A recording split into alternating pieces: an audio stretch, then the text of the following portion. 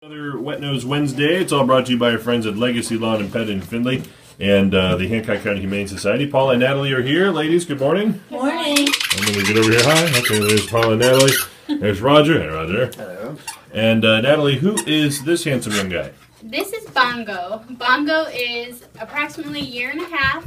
He is a border terrier and a Boston terrier mix, we think. So he's definitely a high energy dog. Very high energy. If he could say anything right now, don't you think it would be play with me? Play with me. I've got toys. I want to play with you. Yeah, I think so.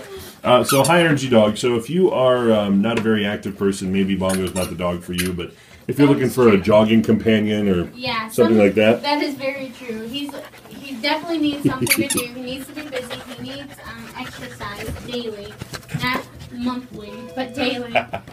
Um, so yeah, if you have a lot of energy, and he would probably be the guy for you. and if you, uh, you know, like I have Siberian Huskies at home, and so shedding is a real thing that I got going on in my life right now. But uh, for somebody who doesn't want to deal with a lot of pet fur, Bongo is a pretty good Yeah, dog I for you. think so because he's got the medium wiry hair first, and so I think that would be good.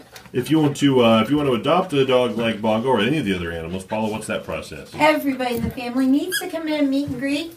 If you have other dogs, they need to come visit and have current vaccination records.